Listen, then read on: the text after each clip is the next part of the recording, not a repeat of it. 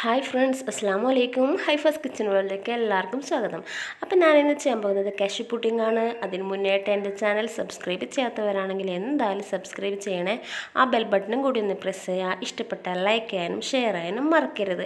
അപ്പം ഞാനിന്ന് ഹൈഫസ് kitchen world ചെയ്യാൻ പോകുന്നത് ഒരു സ്വീറ്റ് ഐറ്റമാണ് കാഷ്യു പുഡിംഗ് അപ്പോൾ നിങ്ങൾക്ക് എന്താണോ ബദാമാണോ പിസ്തയാണോ എന്താണ് കയ്യിലുള്ളത് അത് വെച്ചിട്ട് ഇത് ചെയ്യാം. വളരെ പെട്ടെന്ന് ആ ഒരു പാലൊന്ന് തിളച്ച് വരുന്ന ആ ടൈം കൊണ്ട് നമുക്കിത് ഉണ്ടാക്കിയെടുക്കാം. പിന്നെ ഒന്ന് സെറ്റ് ചെയ്തെടുക്കേ വേണ്ടൂ. ആദ്യം തന്നെ ഞാൻ ഒരു പാത്രത്തിലോട്ട് ഒന്നര ടേബിൾ സ്പൂൺ പഞ്ചസാരയും ഒന്നര ടേബിൾ സ്പൂൺ പാൽപ്പൊടിയും കൂടി ചേർത്തിട്ട് ചൂടുവെള്ളത്തിലൊന്ന് മിക്സ് ചെയ്തെടുക്കുകയാണ്. അഥവാ നിങ്ങൾക്ക് പാൽപ്പൊടി ഇല്ലാന്നുണ്ടെങ്കിൽ മിൽക്ക് മെയ്ഡ് ആയാലും മതി. മിൽക്ക് മെയ്ഡ് ഒന്ന് ചൂടുവെള്ളത്തിൽ ഇതുപോലെ ഒന്ന് അരക്കപ്പോളം ചെയ്തെടുത്തിട്ട് മാറ്റി വെക്കുക ഇത് നമുക്ക് ഈ മിൽക്ക് മിക്സ് നന്നായിട്ട് യോജിപ്പിച്ച് മാറ്റി വെക്കാം അത് ആവശ്യമുള്ളതാണ് അത് മാറ്റി വെച്ചിട്ടുണ്ട്. ഞാനതിന് പാത്രത്തിലോട്ട് പാലൊഴിച്ചു കൊടുക്കുന്നുണ്ട്.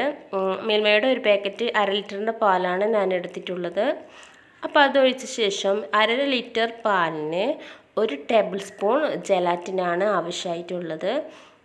അതുകൊണ്ട് നമുക്കിതും കൂടി ചേർത്തിട്ട് പഞ്ചസാര ഇട്ട് കൊടുക്കാം. കാൽ കപ്പ് പഞ്ചസാരയാണ് ഞാൻ ഇവിടെ ചേർത്ത് കൊടുക്കുന്നത്.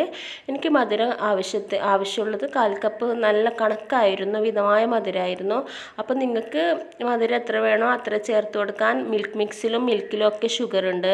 പിന്നെ ചോക്കോ ചിപ്സും ചേർത്ത് കൊടുക്കുന്നുണ്ട്. അതിലും ഷുഗർ ഉണ്ടല്ലോ.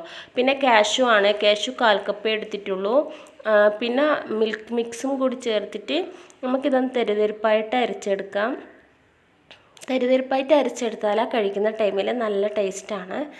അപ്പോൾ ബാക്കി വന്ന മിൽക്ക് മിക്സ് ഞാൻ ഇതിലേക്ക് ചേർത്ത് കൊടുക്കുന്നുണ്ട്. കാഷ്യൂ മിക്സ് ഇപ്പോൾ ചേർക്കുന്നില്ല. ഈ ജലാറ്റിനൊന്ന് നന്നായിട്ട് അലിഞ്ഞ ശേഷം മാത്രമേ ഞാൻ ഇതിലേക്ക് കാഷ്യൂ മിക്സ് ചേർത്ത് കൊടുക്കുന്നുള്ളൂ. കാരണം ഫസ്റ്റിലേ ചേർത്ത് കൊടുത്താൽ കാഷ്യൂ പെട്ടെന്ന് അടുക്കി പിടിക്കും. അതേപോലെ തന്നെ പെട്ടെന്ന് ഓഫ് ചെയ്യേണ്ടി വരും. അപ്പോൾ നമുക്ക് ജലാറ്റിനൊന്ന് അലിയുന്നത് വരെ വെയിറ്റ് ചെയ്യാം.